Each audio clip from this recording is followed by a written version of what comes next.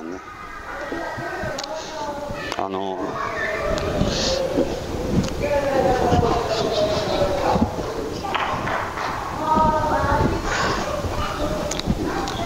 よ。これねここっち。これね。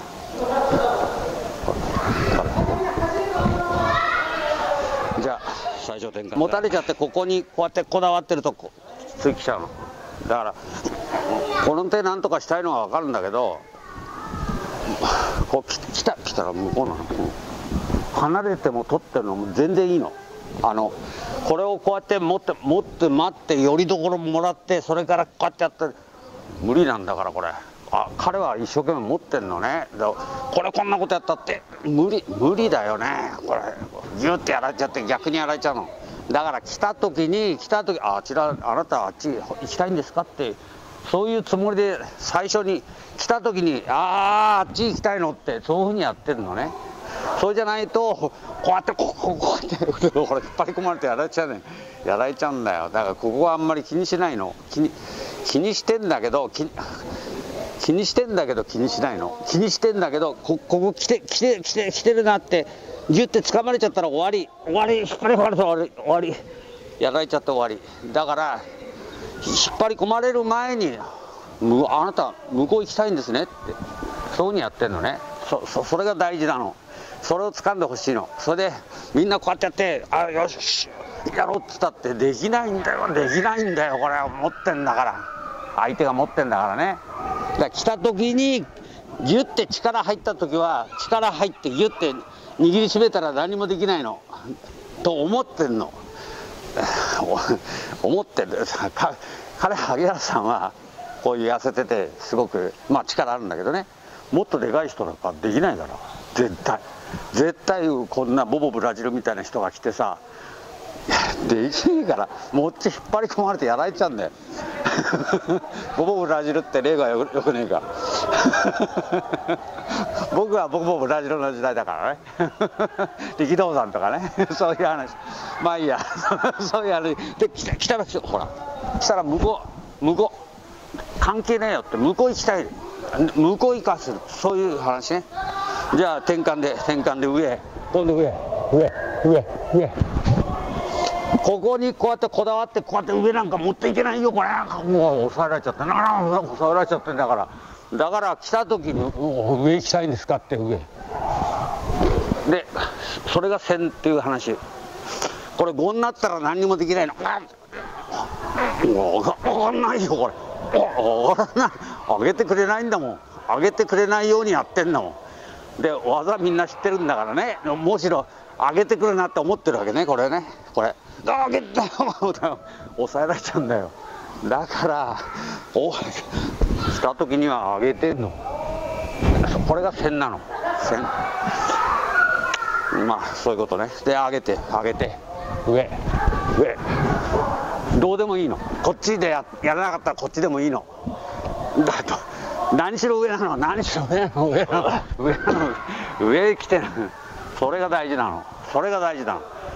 あなたあっち行きたいんですか？上行きたいんですか？下行きたいんですか？ってそういう話なの。で自分がコントロールしてコントロールしてこうやって上だとかね下だとかってやってないんだから。あこう、うんね、上。これが線なの。そういう話ね。じゃあそういう稽古でじゃあ少しやりましょう。あのねみんなよりどころ欲しいの。こういうよりどころ。これ。これよりどころ自分のよりどころが欲しいの。だから待って。待ってってよりどころ作ってから上げようと思ってんだけど上がらないんだよね。だから来たら来たら上なの。ほら。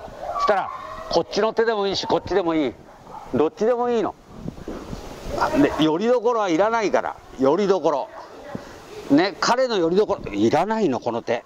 この手。それより上行ってんのそれでほらほらほら。であの位置もらってんのね。だそれが線なの。でこうやってやってよ5になっちゃったらできないんだからもうなこ待ってんだからほらほら膝。待ってんの。こんなことで全然ダメだよ。これどうやってやるの。教えてほしいよ本当に。これでできるんだったら。でもほらやられちゃうの。で引っ張り込んできてくる時に利用してんのがこういう語の語の技なのね。まあそういう話なの。だからやりたい。だ上の稽古やるときは上上なの。だからこう来た時に上なの。上ででこっちが空いてればこっちでもいいよ。こっちでもいいよ。どっちでもいいよ。何しろ上から下なの。だよりどころ欲しがらないで。よりどころ彼のよりどころはいらないから。自分のやりたいようにやるの。自由に。それそれが大事ね。でこう下下行ったら下で下下下下こっちの手でやってもいい。こっちの手で。どっちでもいい。何しろ下なの。向こう行ってはいどうぞはいそしたら下。下下。よりどころ欲しがってないの。いやこれ下にできないよ。できないよ。これこれどうやったらできるんだよ。これできないんだよ。だからあっちへあっちへこれが来てあの来てあっち行った。それで自分がいいところ行った。で下落とした。よりどころいらないからね。そこ、まあ、下の稽古やりましょうじゃあ。どうぞ。みんな見てるとねいろいろ気づきがあるんですよ。あのでねあのまああんまり気にしないで彼だからどっちでもいいの。どっちも手だからそそれからね手手を使うとね手手を使うと手手でやりたいじゃないですか。足が止まっちゃうの。で手でやるやりたくなっちゃうの。こう離れて手でなんとかやっつけてやりたいっていうか当て身入れたりも何でもいいんだけどだから手はないと思ってんの。自分の手はないの。ないの。で場所だけもらうの。場所もらうって。で彼来たいんですか？場所もらったの。で下を落としたの。だから手はないの。手はないつもりでやってんの。でたまたま手がついてたからここに来たの。手がついてたの。たまたまついてたの。でもやってんのは手でやってんじゃないの。手で手でこうやってやって向こうへどうぞ。それから手手なんかこういうとこ自由なんだから。足が自由なんだから。足後ろ。入ってきたの。手かん手を使わない練習だから。手を使ったら手を使ってやってる人はダメなんだよ。ダメなんだよっていうのは最初は手使っちゃうんだけど手を使わない練習なの。手を使わないで本体ボディこういう腰とか足とか。自由に使う練習なの。でこう来てね足が不自由だったら足が不自由だったらいざりだったらねここでやるっけないの。でも僕の足は自由なんでしょ。だからこっち下がれんの。ほらどんどん下がれんの。どんどんさよならってできるの。そういうふうにやってほしいのよ。それで不自由にしてるのは自分だから。で五体を使ってほしいわけ。五体五体っていうのは自分の体ねボディ。手を使う手をに集中しないこと。それが稽古だから。し手は便利だから使いやすいんだけど使いやすいんだけど逆に手にいっちゃうと本体忘れちゃうから。だから全体的にやってるってことね。全体的に。全体的に。で手を使える時は手を使う。あということね。で足も自由だってことを思い出して。思い出して足足。そしてこう落とした。つながってたら落ちるよね。ここんな離れてんだよ。こんな離れて離れてんだよ。結構。結構近いところでやったらできない。できない。できないんだよ。でもこっち行って離れてあ自由に歩いてきたの。そしたらほらつながってんだから手力入れてなくたってこうやって崩れて彼崩れてきちゃきちゃきちゃうきちゃうじゃない？だから足足とか手とか自由なの。でそういうことね。それで、あの、塩投げの形があるの。今度は足を自由にするの。足、足、足、足、足、足。足、足自由にする稽古。で、これすごくいいの。ほら、パンってやって、足自由ね。さよならって。さよならでもいいよ。でも、塩投げって形があるから、こうやって足自由、足自由、足自由、足自由。で、手でやらない。手で、手で、手でこうやって、キュッてャッッて、この下、こう、ぐって、カッて、回って、キッ落とせないんだよ。足がその分自由だからこういうところ相手の弱いところにあ自分が移動してきてんの。だから手は使ってないの。あったかいね今日ね。まあ そしてこう裏と表と形があるの。で足が自由なの。足足この入りあの塩投げの稽古って形があるんだけどこれは形の稽古じゃないから足を自由にする稽古だから。足とか腰とか自由なの。そういう稽古だと思ってやってないとダメなの。こうやってほらこっち来たの。でたまたま手がつつながってたの。こうやってつつながってたの。ここに手があるから。こうやって回って手がほら。だから手でやってないでしょ。だからそういうふうにじゃあちょっと塩投げで。やってみましょう。あちらどうぞ忘れてんの。回りたいの。ここ回りたいの？ば。回りたいから足が止まって回ることは優先じゃないの。別にあちらへどうぞがゆだ大事なの。はあちらどうぞ。したらこう隙間があったの。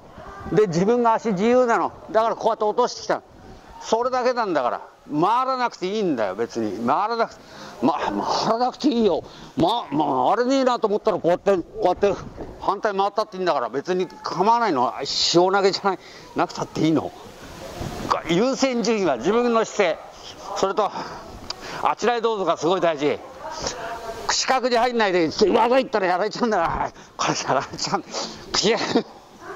まず四角に入ってあちらへどうぞやって。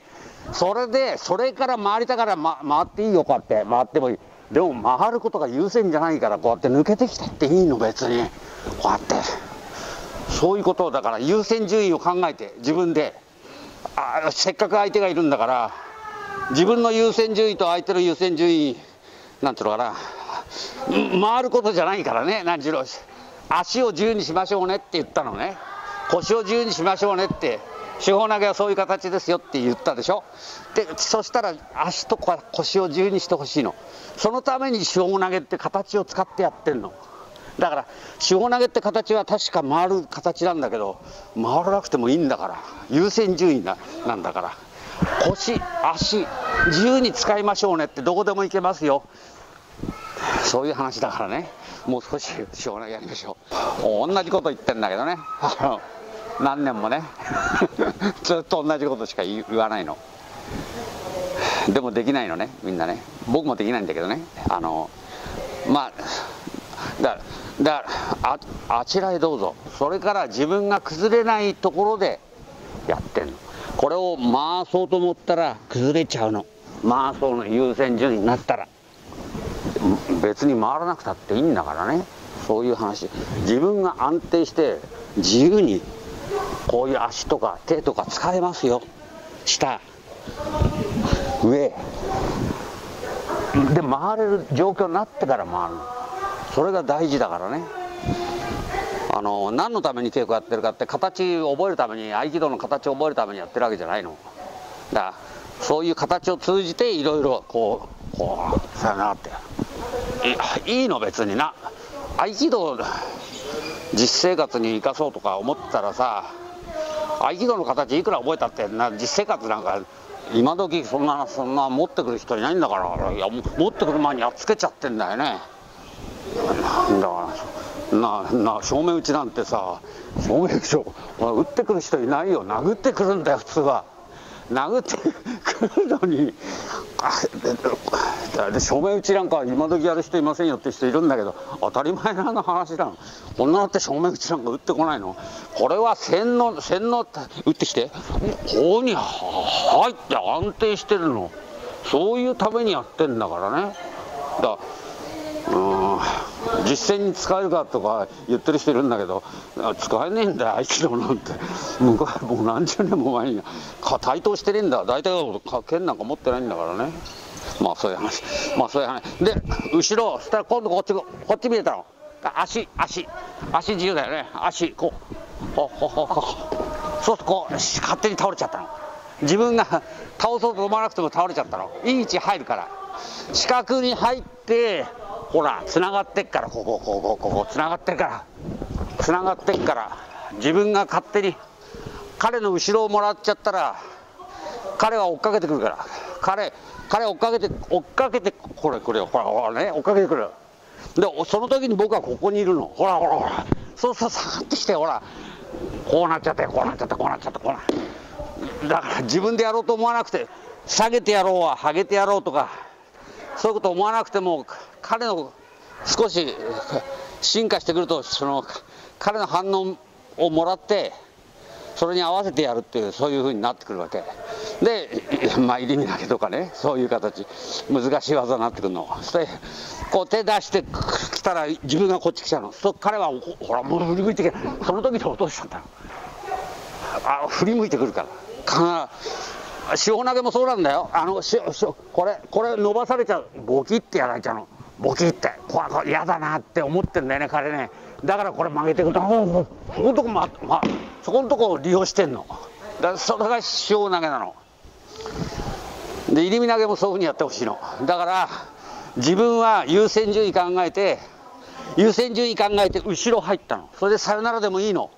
さよならって言ったらまた踏んでこなくちゃいけないのね。だから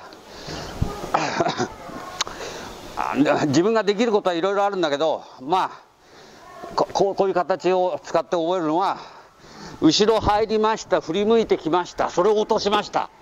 そして彼のリカバリーリカバリーしてこようっていうそういう意図を感じて合わせてやってるってそういう話ね。だからこうやってやってこうやって後ろ来たら振り向いてきました上がって落と。落としましたってそういう話じゃあ入り身投げでちょっとねみんなね入り身投げの形とかねイメージあるじゃないですか。でこれでやっつけなきゃいけないと思ってるからねそういう形になっちゃうんだけど別にいいの。あのそれは形で何習うの？殺し方習ってるわけじゃないの。殺し方なんか入り身投げしたら入り身な入り身投げしたらもう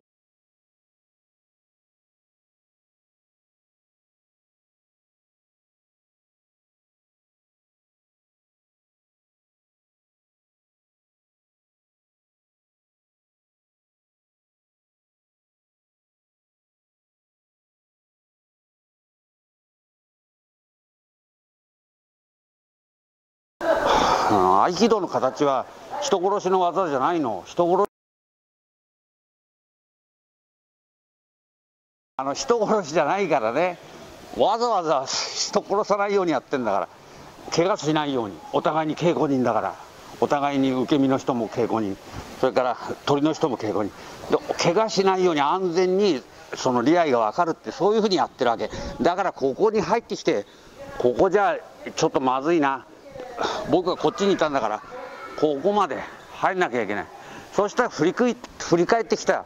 それを下にまあ下に落とすんだったら下に落として上に上げるんだったら上に上げるってそういう形だからね。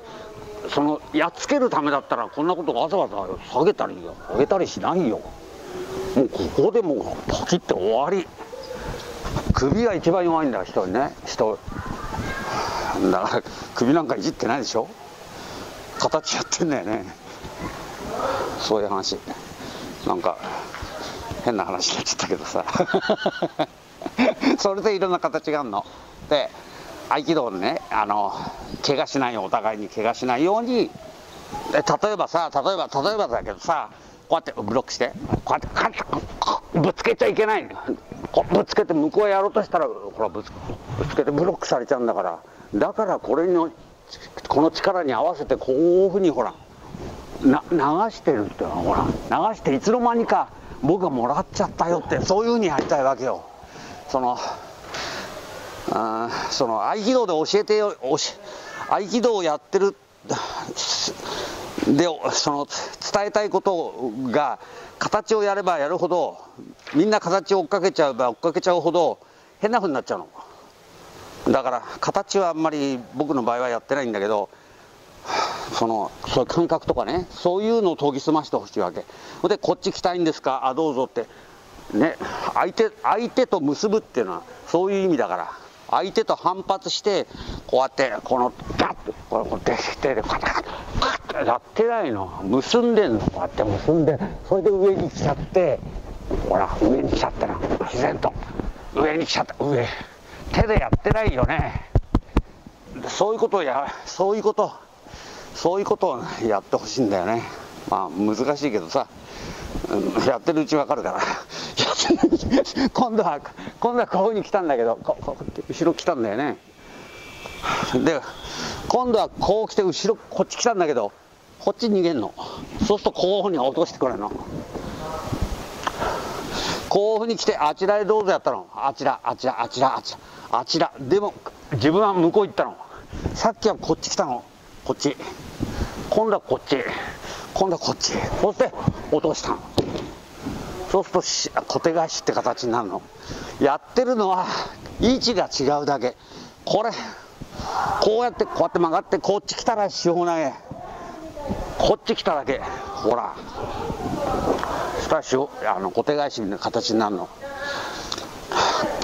こうやって来てこっち来れば入り入り投げ。こっち来たら小手返しこういうそういう話ね。だ形は同じ形は同じじゃねえや。技は違うけど相手との位置方向それで技は変わる。こう来たら違う技。な何でもいいんだよ。何でも同じなんだよ。全部こういうふうに外側に入ったのは全部同じなんだよ。同じなんだよ。同じなんだよ。同じなんだよ。同じなんだよ。全部同じなの。要はこの手をこの手をどうするか。でこうねこう曲がってるのね。曲がって。それで曲がってるのをこういうふうに出してきたのが。だからこうなって。でこう。で形とか いろいろあるけどまあそういうことですから。で小手返し使ってやってみましょう。こうやってきてこう。これ嫌なのは手にいっちゃうと教えてくれるのはね小手返し稽古してて教え小手返しが教えてくれるのは手にいったらやられちゃうの。手にいったら強いんだからこの人。この人強いから我慢して少し我慢して来るよ。こうやって落としてこうやって来たらわあやられちゃうね。やられちゃうんだよ。だから 小手返しが教えてくれるのは手にこだわらないで落としましょうねって。落とす感覚だけだの。落とす感覚だけ。そうだわ。返される前に落とすの。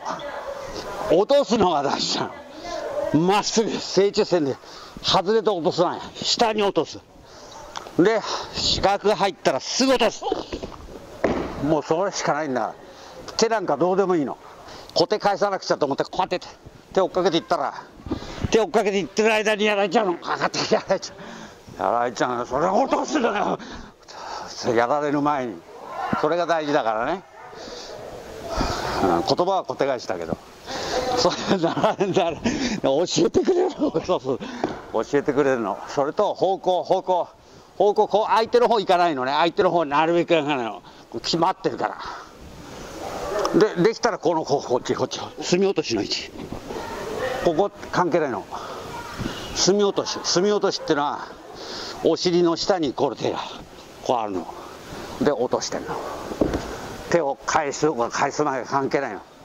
何しろこうなったらこのお尻の下に落と落とされちゃったの。手なんか関係ないんだから。こうやって落とされちゃったんだから。そうだそういう練習そういう練習ね。じゃあ小手返し。あちらどうぞいずれにしても大事だから。あちらどうぞやらないと手がある。で彼は彼なりに考えてて引っ張り込んでやっつけてやろうとかいろいろ考えてきてるんだからね。これあちらにどうぞやることによって転換してるの。転換ってのはあちらへどうぞ。転換。転換したから資格もらえて自分がこういうふうに入れたの。それは気持ちの転換でもあるわけ。転換って。だから転換が大事だっていうのは最初にやってるの転換。四角に入って四角この四角ね四角に入って転換。それでこうに切れたの。それじゃないと転換しない忘れちゃってると切れないんだよ。これ持ってんだから引っ張り込まれてやられちゃって終わりな。ああやられちゃって終わりなの。だからそれを転換するために転換してんの。ほら。そしてこうやって。で後ろが見えた。それで落としたそういう話だね。だだ最初がダメなら全てダメ。だ最初の 転換が大事。いかに大事かってこと。だから転換からやりましょうって言ったら大事。あんな体操みたいに何何やってんだからって思っちゃうんだけどあれすごい大事。あれのために転換をうまく誰にでも同じようにうまく転換できるために合気道の稽古を全て構成されてると思ってもいいぐらい。なんだよね。合気道の形で人をやっつけるためにやってるわけじゃないんだから。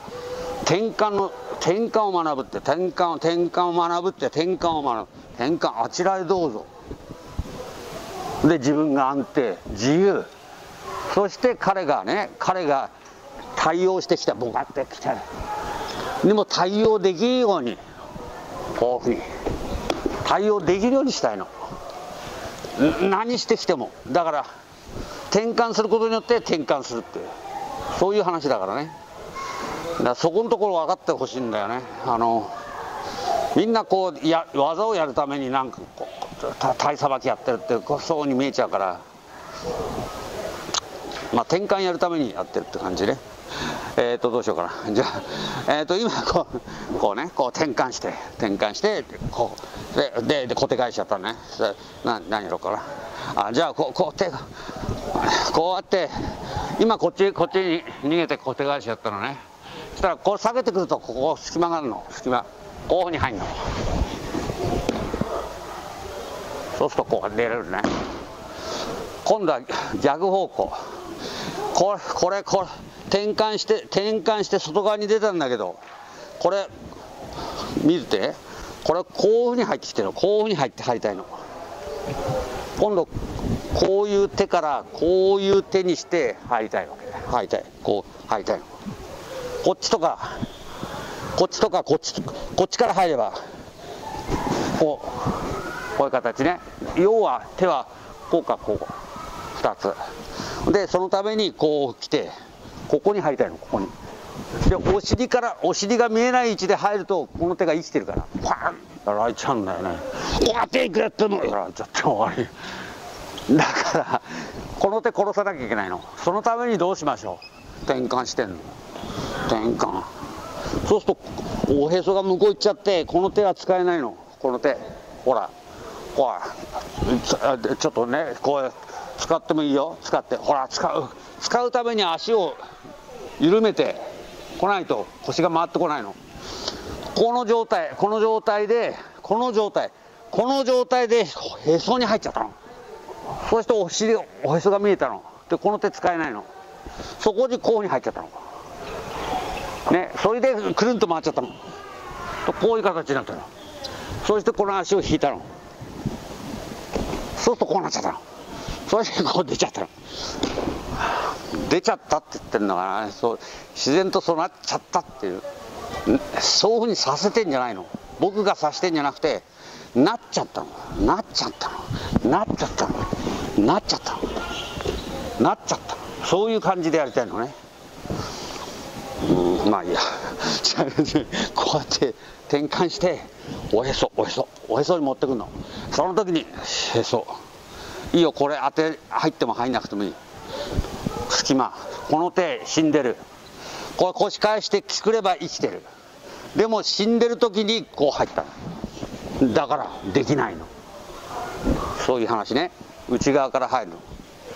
内側から入ってこういうふうにほら。いいそれでこう出てくればここっちこう入ってへそに来てここここにこう入っちゃったこうそして出てくる。じゃあこれ難しいけどちょっと内側からこういうねやってみよう。あのねこの手この手転換して転換してこの手つなげたままこういうふうに持ってきてもいいの。こうやって持ってきても。これこれつなげたままね。それから切ってもいいの。切ってこうやってこうやって入ってあちらへどうぞやったら切ってもいいの。切ったらこういうふうに入ってくるの。切った方が楽なの。切った方がいいよ。こう来てこう来たらほらこれ左手ね。同じっていうふうにやるよ。つなげとけば同じ。右手今度右手右右手。どっちでもいいの。そんなのはどっちでもいいの。だつなげてるとやりがちなのはつなげてるとこっち来て切らないと戻ってきてほらボカって回ってんだから。だから切っちゃった方が楽なの。切っちゃってこういうふうに入った方が左手で入った方が楽。だからそれはどっちでもいいんだけどそれは稽古だ。稽古だからどっちでもいいんだけどどっちも使えるようにしたしたしときたいの。こう左手で。左手こう来たよ左手ね。ほら左手。こういう方とこう来た時にこうそしてそのままつなげてこう右手。両方できるようにやってください。じゃあどうぞやってください。じゃあ内側内側こうやってあちらへどうぞやったの。で内側入ったのはこういうふうに入って振り向いてくる前に振り彼が振り向いてくる前に落としねこうやってやってここっちにしてもいずれにしても振り向いてくる前にどっちの手にしてもやったんでしょ？ややったんですよね。で今度は内側入るの難しいからここっちから入んなきゃいけないからこれ。これ生きてんだからね。生きてるしこの手がこの膝が死んでるっていう状況死んでるっていう状況にしてるから入れた入れたでしょ？で今度は今度はこうやって入ったらもうそのまんまこうに落としたの。そうするとずっと死んでるんだよね。向こうやって向こうへ「はいどうぞあちら行きたいんですか?」って言ってからこうやってこういうふうに入ったの。こうやってあちらへやった。こうやってこう入ったの。外から。さっきは内から。さっきは内から。向こう。内から入った。今度はこっからこうに入った外に内に入ってないね。外。ただ外だけ。このこのこの外。外外からこっち入って。こういうふうに入ってきた。でこうやったら3強。ねそういう形ね。じゃあちょっとやってみようか。じゃあこうやってやってこっちの手でもいい。持ち替えてもいい。持ち替えても上げて上げたりこうい。うふうに入ってくれば同じ。同じだから。全部同じ。ここっちの手つながってたらこう入ってきてこういうふうに。あこここれねこ彼こっち来てくれたけどここうやって入ったら生きてんだよ。これここやられちゃうんだよ。だからこの時やる時は少しこっちあ届かない位置届かない位置届かない位置届か届かない位置が大事なの。あのもらっちゃわないためにはね。さあ相手との位置関係。まっすぐ。それから正中線使う。こみんなこういうふうにやっちゃうから。これもら待ってんだから。こうやってやってやってもこうやってやったらほら外に出したら待ってんだからねこれね。だからここここはまっすぐ上げてんの。こうやってやってまっすぐ上げてここにまっすぐ上げてんの。そうすると来て来てもいいよ。来てもこういうふうに抑えれるの。あ膝が来てもひ膝出てこないか？ああそうそうそう。そうそうそういうふうに抑えれるの。この手でね。この手で。じゃないと正中線じゃないとこう外れちゃってたらやられちゃうんだからやられちゃうんだから。ね膝がこうそれでこういうふうに場所彼の場所を作ってあげて崩して。そういう形ね。じゃあやりましょう。同じなんだけどこうに来るよね。そして向こうあちらどうぞね。そしたら下げてくるの。下げてきて下げてくるとこの手聞いてくるの。そこう来るよね。来る前にこうに入ってくる表から。そうすると一挙の形になるの。こう来て転換しました。下げました。これ聞いてくんだよね。待ってたら来ちゃうの。か必ず足とか。でもこうやってやって下げてすぐ上げるの。そうするとほらこのつかないのこれ。この手。この手。で重心もらっちゃうの。重心盗むって感じ。こういうふうに。そうすると彼はなんていうの重心居場所がなくなっちゃったから倒れちゃったって感じね。それ一旦こういうふうに向こうへどうぞやってそしたら下げてすぐ上げるの。こういうふうに。出てきちゃうの。彼の場所をあの奪う。こうやって下げて上げて。こういう感じ。でこれをうまくやるとうまくこう彼は逃げて向こうに逃げちゃったのは逃げないように下下げてくると逃げれないの。足つげないからあれね。逃げていけないの。でこう一挙形。両方できるように。この手この手でやることもできるしこうこう切ってこの手でやることもできるよ。こうに。ね。両方できるように。あの稽古の時はね。こうつな切っちゃった方が楽。切っちゃった方が楽。そうするとこの肘が使えるからね。これがないと来ちゃうのねだからテンションがかかってるだからこういうふうに入ってる場所がない。そして落としちゃった。そしてこういうふうにギューってやるといってててってなってこうなっちゃった。じゃあいろいろやることあって面白いですね。あのうまくいかないんですけどね。あのだい大体うまくいかないんですよ。でまあだから長いことやってるんだけどや長いことやってもうまくいかないから。だからそれをうまくやるっていうのがその稽古だからね。でその形はあんま覚えない方がいい。まあ形を教えてるしかないんだけど形はすごく簡単。形やるのは簡単。なんだけど形じゃなくてそういう利愛っていうのをね求めてほしいんですよね。そうじゃあ終わりましょう。はい。